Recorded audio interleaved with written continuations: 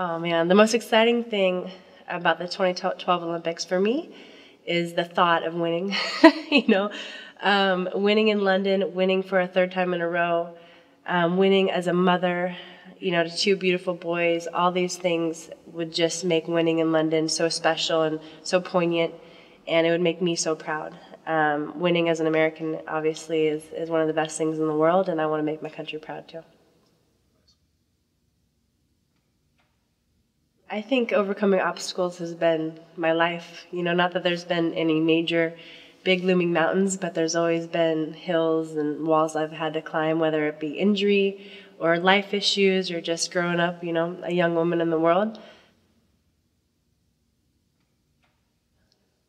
Love is all around us. Love is my two boys.